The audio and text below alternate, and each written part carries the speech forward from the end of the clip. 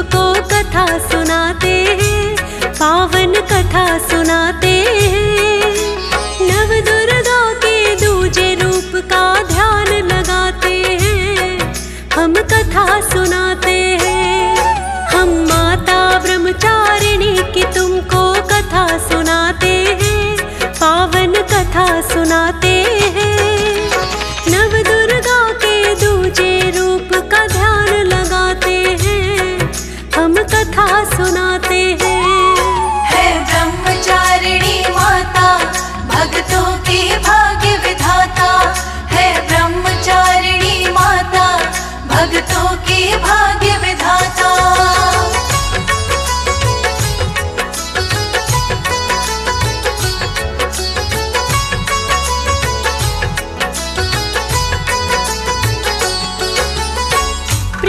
भक्तजनों आज हम आपको माता ब्रह्मचारिणी की कथा सुनाएँगे। प्रिय भक्तों, माता ब्रह्मचारिणी नवदुर्गा का दूजा रूप है।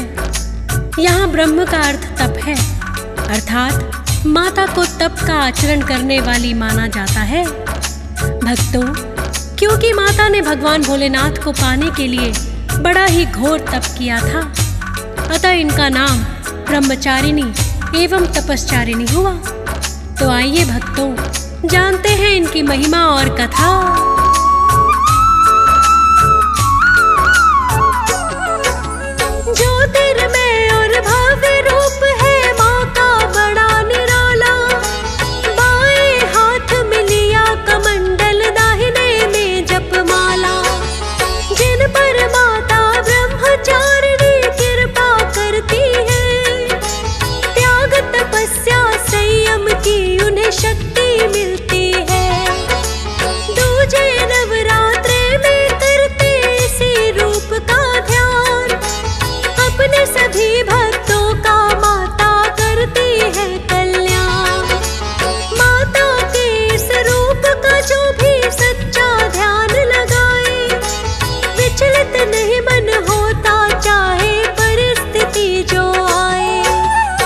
विपदाओं से पार भक्त वो पाही जाते हैं, पावन कथा सुनाते हैं। नव दुर्गा के दूजे रूप का ध्यान लगाते हैं, हम कथा सुनाते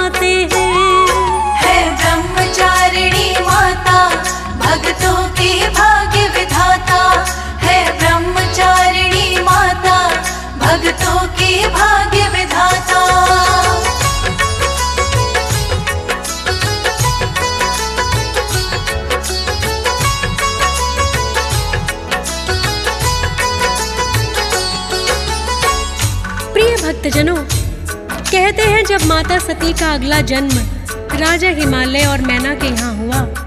तो इनके पिता हिमालय ने मुनि नारद जी के कहने पर विष्णु जी से इनका विवाह करना चाहा। किंतु माता तो सदैव भोलेनाथ की अर्धांगिनी है। अतः जब इनको पता चला तो इन्होंने अपनी सखियों से कहा कि मैं भोलेनाथ के सिवा किसी के बारे में सोच भी नहीं सकती। तब इनकी सखियाँ गुप्त रूप से इन्हें एक वन में लेकर आईं, जहाँ ब्रह्मचारिणी रूप में माता ने हज़ारों वर्ष कठिन तपस्या करके भोलेनाथ को मनाया था। तभी ब्रह्मचारिणी कहलाई, भक्तों, इनकी पूजा से ऐसे ही कठिन तपस्या करने की शक्ति मिलती है। आइए भक्तों, जानते हैं माता ब्रह्मचारिणी की पूजा विधि।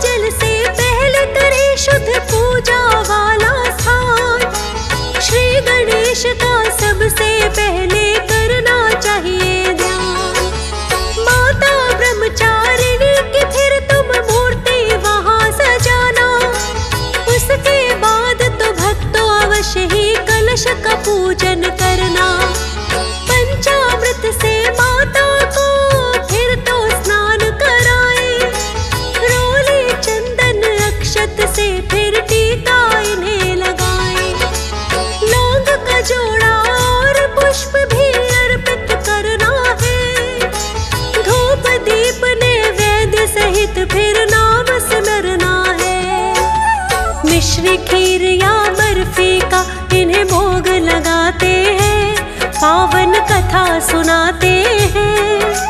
नव दुर्गा के दूजे रूप का ध्यान लगाते हैं, हम कथा सुनाते हैं।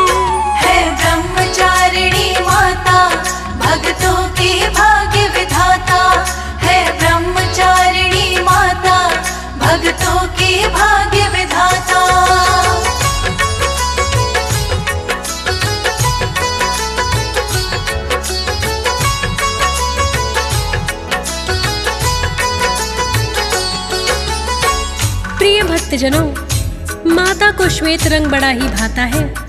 अतः षोडशोपचार से पूजन करने के पश्चात इन्हें मिश्री, खीर अथवा खोए की बर्फ़ी का भोग लगाया जाता है। और कम से कम 108 बार माता के इस मंत्र का जाप किया जाता है। ये मंत्र है, या देवी सर्वभूतेषु ब्रह्मचारिणी रूपेण संस्थिता। नमस्तस्यै नमस्तस्यै नमस्तस्यै नमो नमः। अथवा ओम देवी ब्रह्मचारिण्यै नमः। इसका जाप भी किया जा सकता है। शाम को फिर यही क्रम दोहराएँ। पूजा पाठ के पश्चात कथा का श्रवण या पठन अवश्य ही करना चाहिए। माता की कथा सुनने से व्रत का पूर्ण फल प्राप्त होता है। प्रिय भक्तों, आज हम आपको माता ब्रह्मचारिणी की पौराणिक एवं दंत कथा दोनों ही सुनाएँगे। ध्यान पूर्वक श्रवण करें। आइए पहले सुनते हैं ये पौराणिक कथा।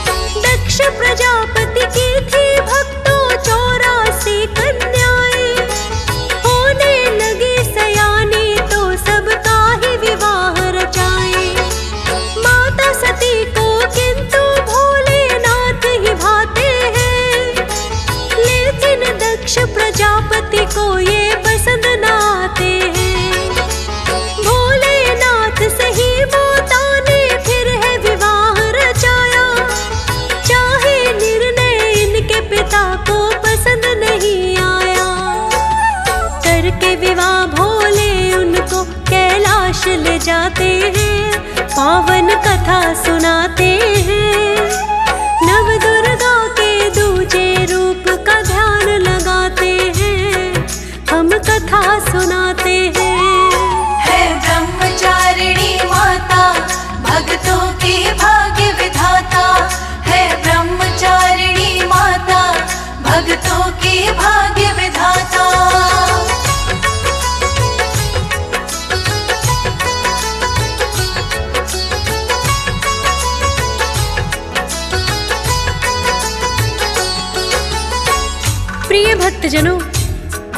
पिता दक्ष प्रजापति के न चाहते हुए भी माता सती ने महादेव से विवाह रचाया और कैलाश पर्वत पर आ गई। एक दिन राजा दक्ष प्रजापति ने एक महायज्ञ का आयोजन किया, जिसमें सभी देवताओं को आमंत्रित किया गया।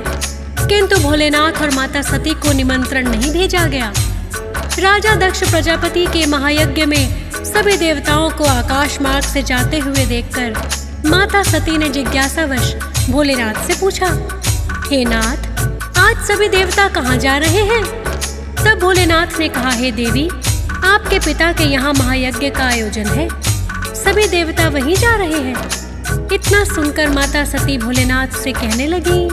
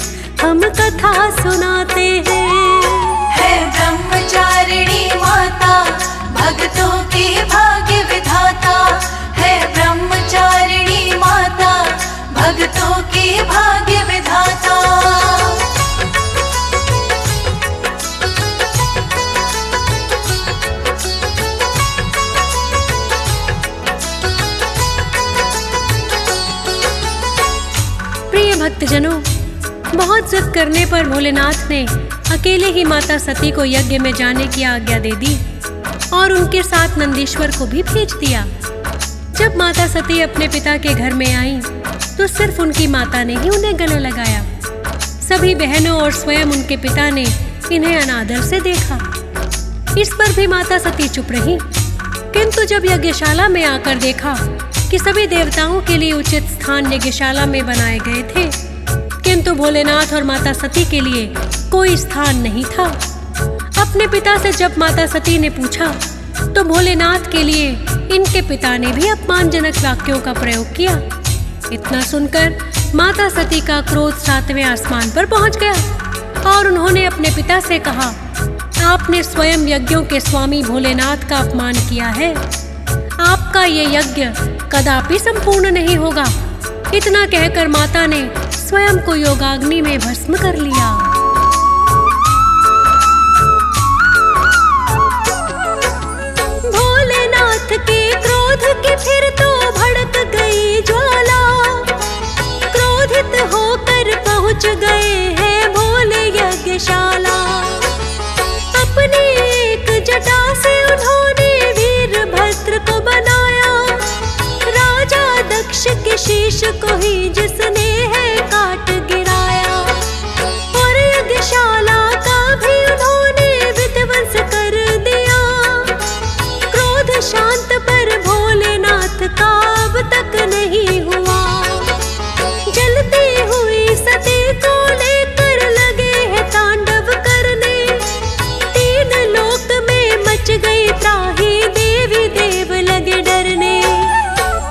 विष्णु जी फिर इनका क्रोध शांत करवाते हैं, पावन कथा सुनाते हैं। नव दुर्गा के दूजे रूप का ध्यान लगाते हैं, हम कथा सुनाते हैं। है ब्रह्मचारिणी माता, भक्तों की भाग्य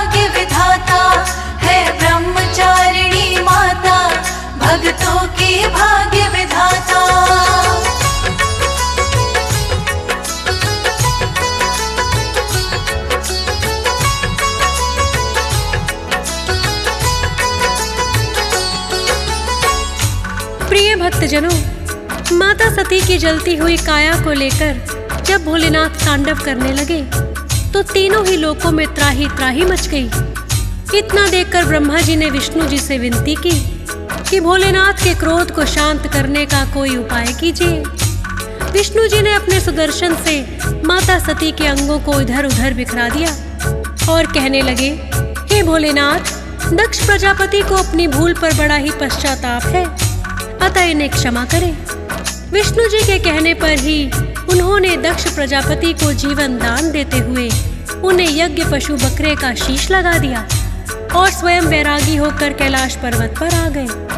प्रिय भक्तों, जैसा कि हम पहले ही वर्णन कर चुके हैं, माता सती का अगला जन्म राजा हिमालय और मैना के घर हुआ।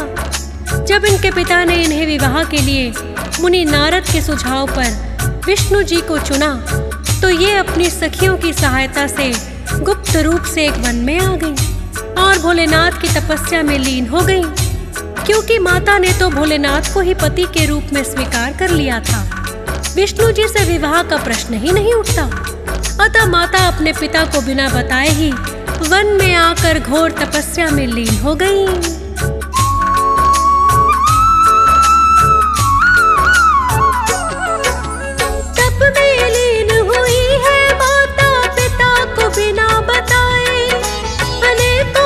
树。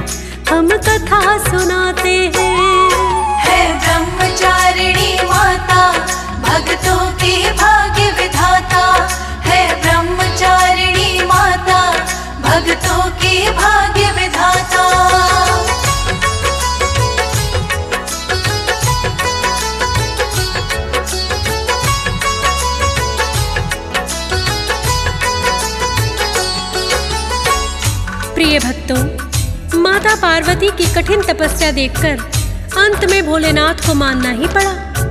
इधर मुनि नारद ने भी इनके पिता को बताया कि माता पार्वती भोलेनाथ के सिवा किसी और को अपना वर नहीं चुनेंगी और इसके लिए वो वन में जाकर कठिन तपस्या करने लगी और उन्होंने अपनी तप साधना से भोलेनाथ को प्रसन्न कर लिया। इनके पिता भी मान गए और आदर सहित अपनी पुत्री को घर ले आए। तत्पश्चात भगवान भोलेनाथ से इनका विवाह भी रचाया। प्रिय भक्तों, भोलेनाथ को मनाने के लिए माता ने जो घोर तपस्या की थी किसी कारण इनका नाम तपश्चारिणी अथवा ब्रह्मचारिणी हुआ और माता पार्वती के इसी रूप की पूजा दूसरे नवरात्रे में करते हैं। जिस प्रकार माता ने अपने तप और त्याग से भोलेनाथ को प्रसन्न कर लिया, माता के इस रूप की पूजा करने वाले भक्तों को तप और त्याग करने की शक्ति प्राप्त होती है। प्रिय भक्तों, ये थी माता ब्रह्मचारिणी की पौराणिक कथा। आइए सुनते हैं माता की एक और दंत कथा।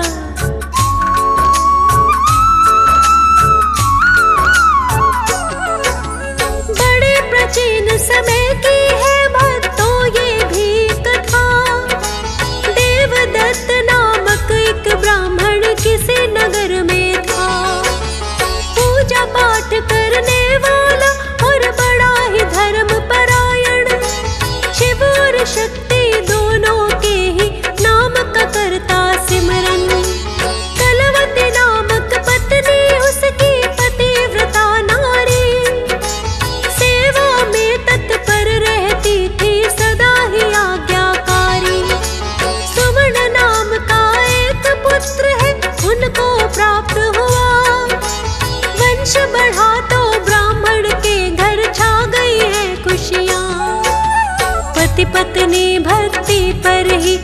चलते फिर जाते हैं पावन कथा सुनाते हैं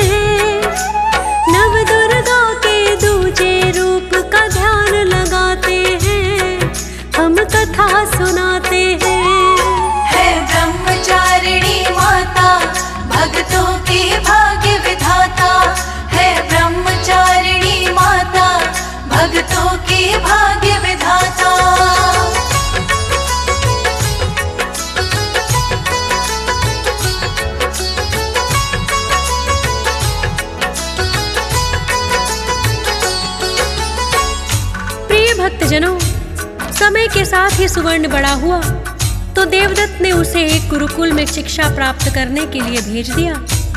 कुछ वर्षों पश्चात सुवर्ण ने अपनी शिक्षा भी पूर्ण कर ली और वो वापस आकर माता पिता के पास नगर में लौट आया।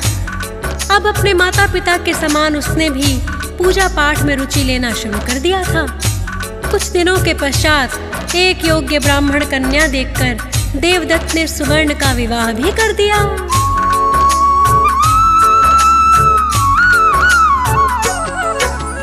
सुशीला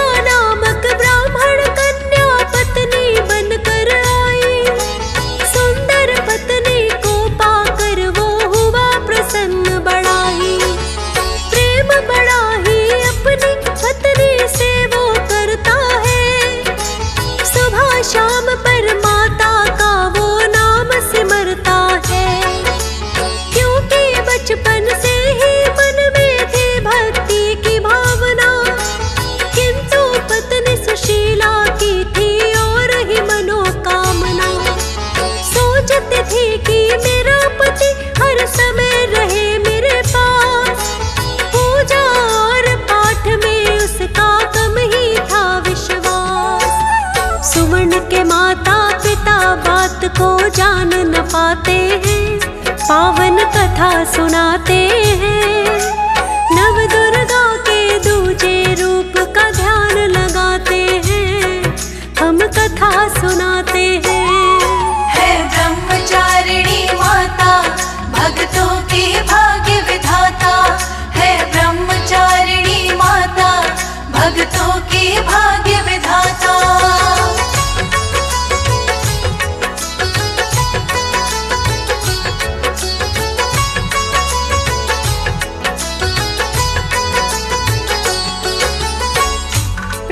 भक्तजनों सुवर्ण की पत्नी सुशीला बड़ी ही सुंदर थी।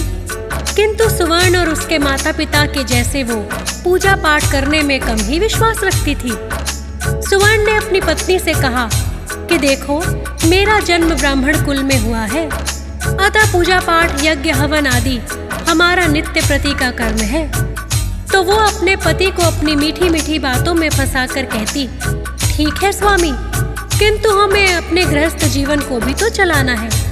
क्योंकि सुवर्ण अपनी पत्नी से अत्यधिक प्रेम करता था, पत्नी की बातें उसे उचित ही लगती। धीरे धीरे पति पत्नी का प्रेम बढ़ता गया, और कुछ दिनों में वो अपने पत्नी प्रेम में इतना मग्न हुआ कि पूजा पाठ से उसका ध्यान भंग होने लगा। पत्नी प्रेम में सुवर्ण का जब ध्यान भटकने लगा तो उसके पिता देवदत्त को ज्ञात हो गया कि सुवर्ण पत्नी प्रेम में मोहित होकर अपने पथ से भटक रहा है तो देवदत्त अपने पुत्र को समझाने का कोई उपाय सोचने लगा। उसने सोचा, क्यों न पुत्र से इस बारे में पूछा जाए? एक दिन देवदत्त ने इस बारे में अपने पुत्र को पूछ ही लिया। हे पुत्र, क्या तुम अपनी पत्नी प्रेम में पथ भ्रष्ट तो नहीं हो रहे हो? सुवर्ण को उसके माता पिता ने बहुत ही अच्छे संस्कार दिए थे। उसने अपने पिता से कुछ न छुपाया और सब सच बता दिया।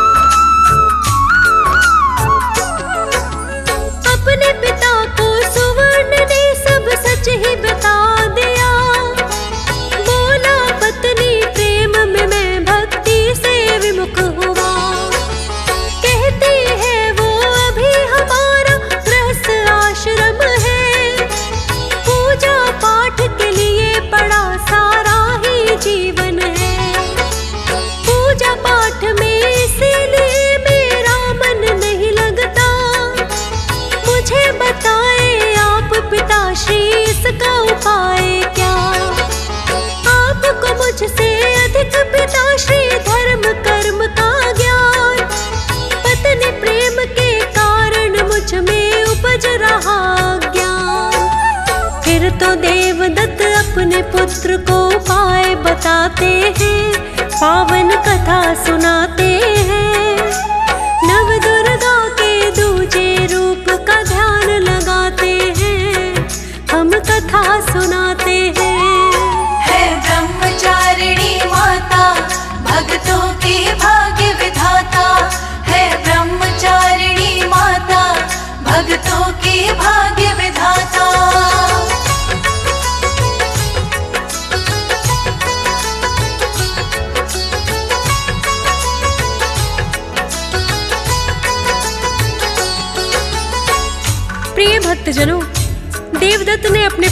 समझाया, हे पुत्र, जिस प्रकार गृहस्थ आश्रम में पति धर्म निभाना आवश्यक है, उसी प्रकार भक्ति करना भी आवश्यक है।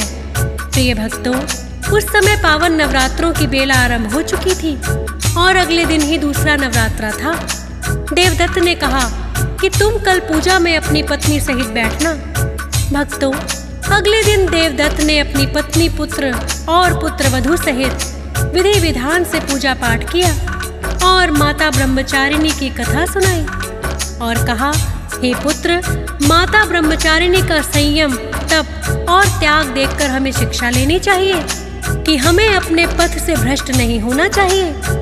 प्रिय भक्तों, माता ब्रह्मचारिणी की कथा को सुनकर सुवर्ण और उसकी पत्नी के ज्ञान चक्षु खुल गए और सुवर्ण और उसकी पत्नी ने माता से क्षमा याचना की और वो दोनों भी माता की भक्ति में लीन हो गए।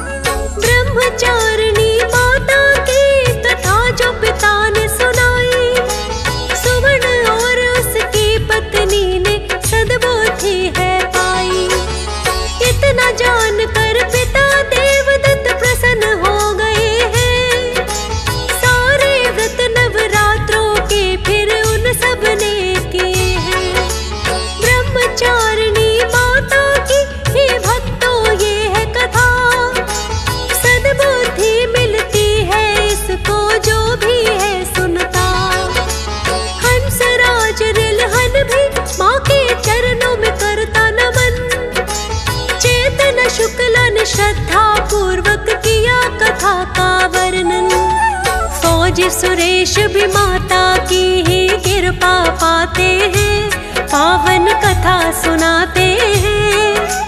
नव दुर्गा के दूजे रूप का ध्यान लगाते हैं, हम कथा सुनाते हैं।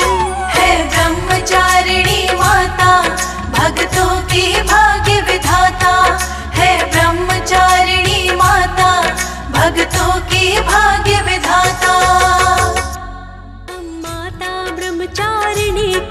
की कथा सुनाते हैं पावन कथा सुनाते